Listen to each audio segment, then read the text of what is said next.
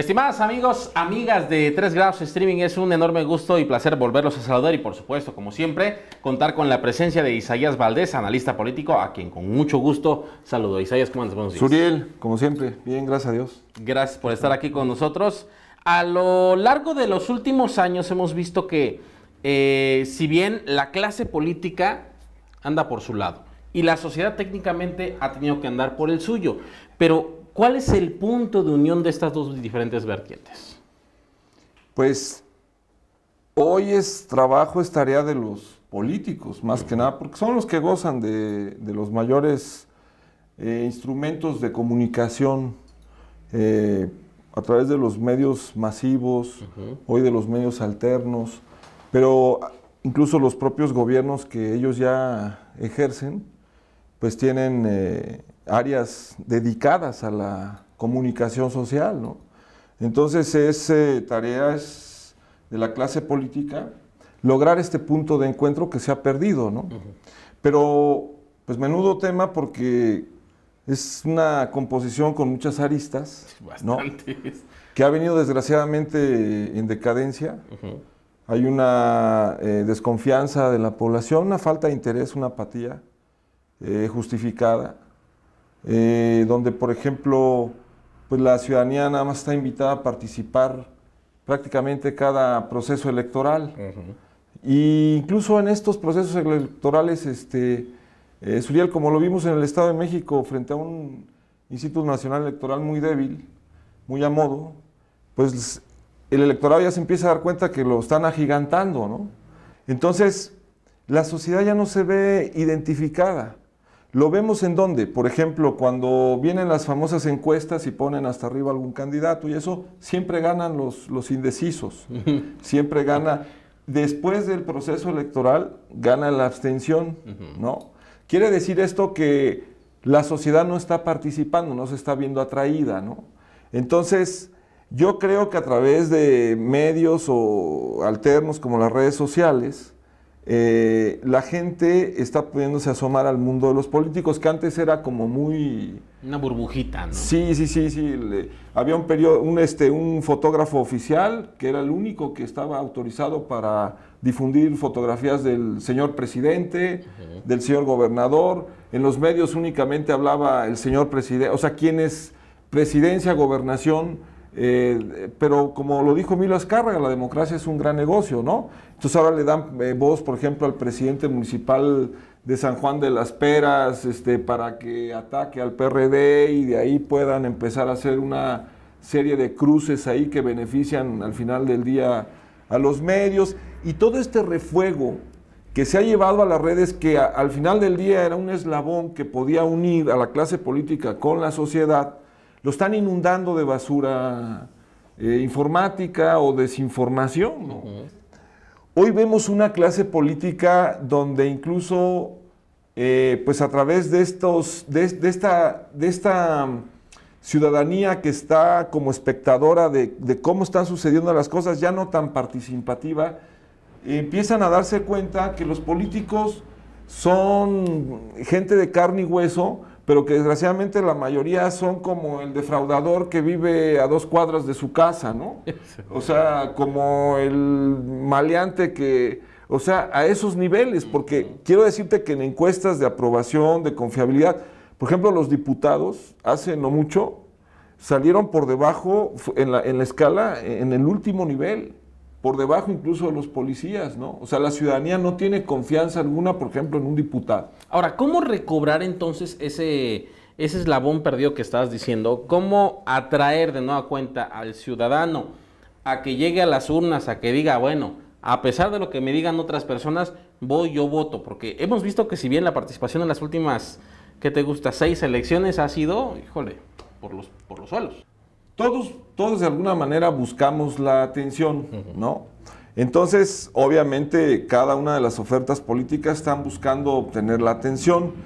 Eh, ¿Para qué? Pues para obtener el poder. ¿El poder de qué? Bueno, de controlar.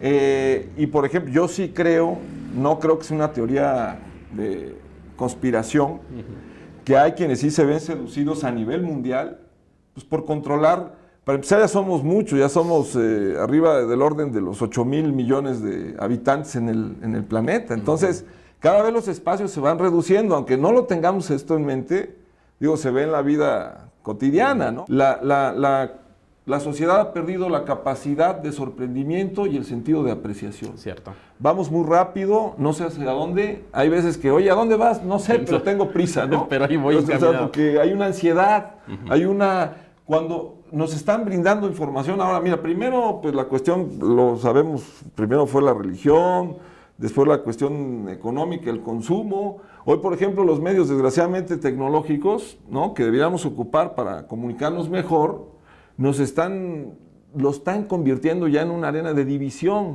¿no?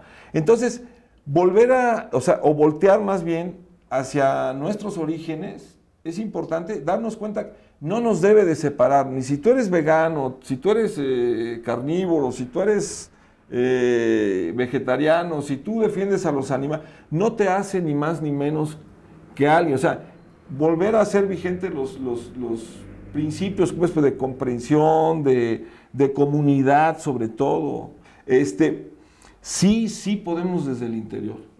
O sea, empezar a tener una visión de comunidad, por ejemplo, lejos de, de- de- de que no pasártela alto, no, no, cumplir con una cuestión de carácter espiritual.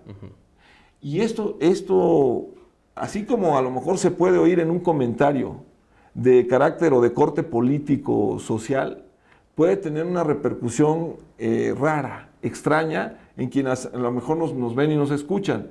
Pero es lo, es lo que hace falta. Sí.